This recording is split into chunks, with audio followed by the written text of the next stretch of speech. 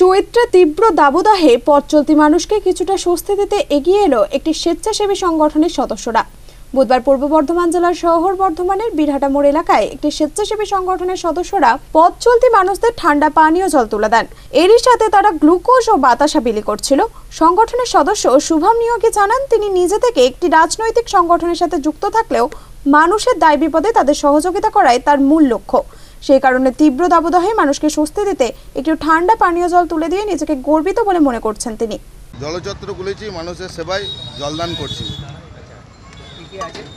এখানে জল গ্লুকোজ বাতাসা ঠিক আছে?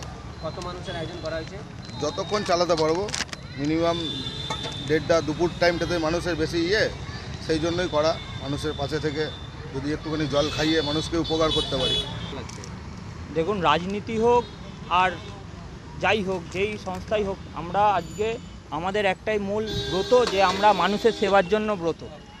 দিনের শেষে আমরা মানুষের সেবা করে এসেছি এবং আগামী দিনেও করব, সে যে কোনো প্ল্যাটফর্মই হোক, যে কোনো জায়গায় হোক। আমাদের মূল উদ্দেশ্য মানুষের সেবা করা। সেই জন্য, সেবার জন্য আমরা এগিয়ে এসেছি। আজকে আমরা দেখতেই পাচ্ছেন, আমাদের ধর্ম মানবিক ধর্ম। মানবিকতা আজকে শেষ হয়ে যাচ্ছে। আর এই মানবিকতা শেষ হয়ে যাচ্ছে বলে আজকে জায়গায় জায়গায় এত হিংসা, হানাহানি এরকম বিক্ষিপ্ত ঘটনা ঘটছে। আজকে আমরা চাই সমস্ত মানবিক এক হয়ে আজকে সবাই এগিয়ে আসুক এবং সবাই হাতে হাত রেখে আজকে বিশ্ব শান্তির বার্তা দিচ্ছি আমরা এবং সর্বশেষ যেই হিউম্যানিটি আমাদের সংস্থার নাম, সেই মানবিকতা আমরা গোটা বিশ্ব জুড়ে জাগ্রত করতে চাইছি, জাগ্রত করতে চাই যাতে এই হিংসা, হানাহানি, এই যুদ্ধ বন্ধ হোক এবং সর্বশেষ শান্তি ফিরে আসুক। বর্ধমান থেকে পিন্টু প্যাটেল ও টিঙ্কু সাওয়ার রিপোর্ট, আনন্দ বার্তা।